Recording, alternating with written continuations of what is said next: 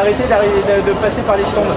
Et Ce qui nous manque apparemment c'est 99% de chance parce que le matériel on avait tout préparé, on avait tout révisé, on a mis que du neuf, tout marchait très bien.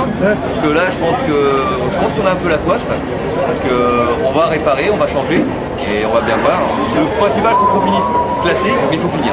C'est ça les 24 heures, c'est pas de partir en trombe, mais euh, qu'est-ce qui, euh, qui, est essentiel pour arriver euh, pour réussir ces 24 heures bah, Disons que dans notre catégorie, partir en trombe, ça sert strictement à rien parce qu'on n'ira jamais au, plus vite qu'un 3 litres, pour rester honnête.